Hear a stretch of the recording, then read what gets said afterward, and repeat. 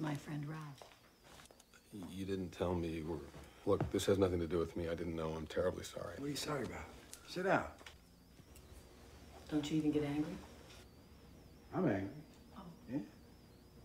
I'm very angry, Ralph. You know, you can ball my wife if she wants you to.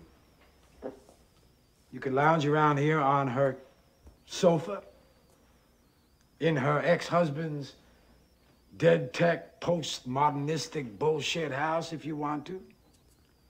But you do not get to watch my fucking television set. For God's sake.